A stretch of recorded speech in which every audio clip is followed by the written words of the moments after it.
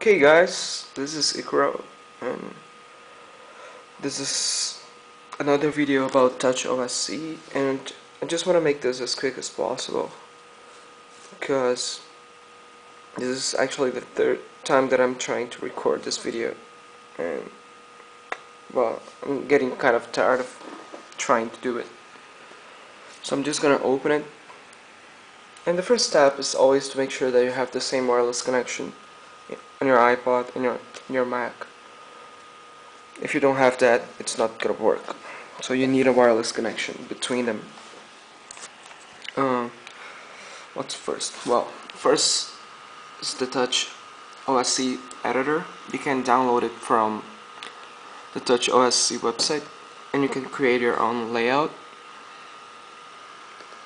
it's actually pretty neat so you can add whatever you want and you can resize it and you can add more pages. And yeah I'm just going to open something that I created earlier. Cool. So I have some faders here and some pushes. And well that's it. So when you're done creating your layout you just want to click on sync. And on your iPod you're going to click on layout and add and you're gonna see your computer here. Just click on it. And it's going to ask me to overwrite it because I already have it. So I'm just going to cancel it. And you can see that I have it here. And it's going to have the same name as your file has. So if you save it as 1234 it's gonna have 1, 2, 3, 4 as a name here. Okay, so I'm just going to show you that it works here. Yeah, you can see it's really nice.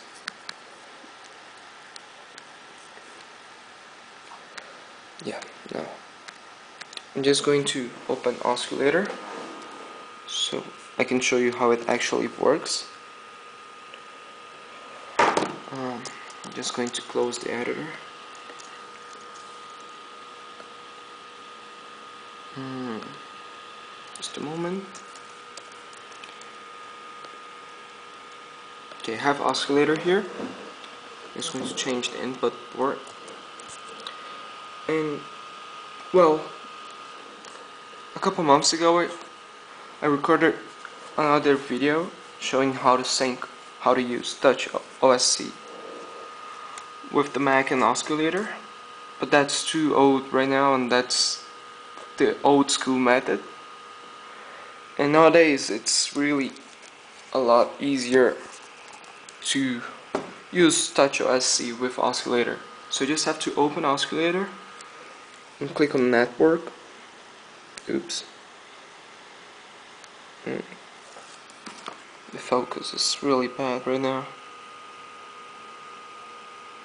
let me try to do something over here. Well you can't really see it. Oh there you go.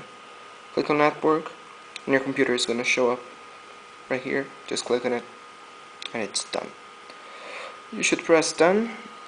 And since it's the first time that you're using this layout with OSCulator you should touch each one of the controllers once so you can assign whatever you want and of course I've done this already so I'm just going to open the file. Yeah as you can see here let me oh it's working. Yeah. So I'm just going to open Ableton Live to show you that it really works. And I'm actually really excited with this new touch editor because I can have like a Lemur on my hands. I can design my own layouts and have as many pages as I want. That's really exciting. So as you can see here I have six tracks with different clips and I have the faders controlling the volumes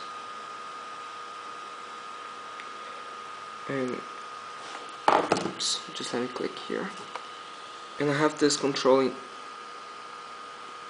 working as the keyboard so I can select what clip do I want to play. And here I have the master volume and some master effects equalizer and well I'm just gonna press play. And you can see I'm just going to turn all the volume all off. Um, so. oh yeah baby. Oh yeah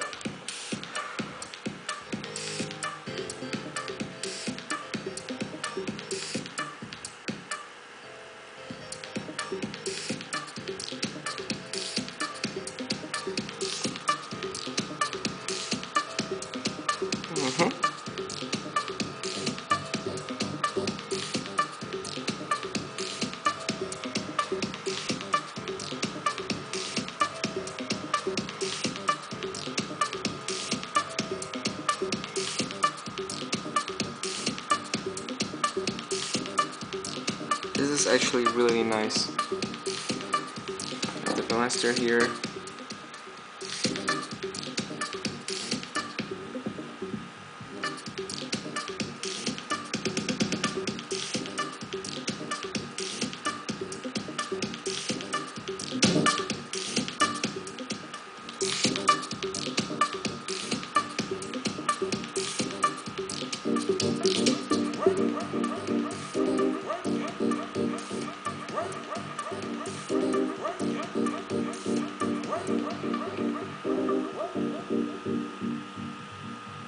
Well, that's it.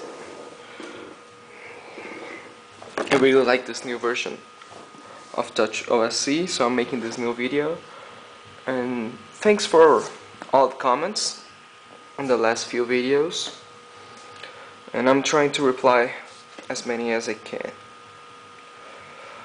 Uh, I'm going to upload this layout with the OSCulator file and this Ableton Live project without the samples so you can add your own samples. But yeah so you can see how it works and have some fun. Alright guys so thanks a lot and I'm back home as you can see. I'm not in that small room anymore. I'm in my new studio.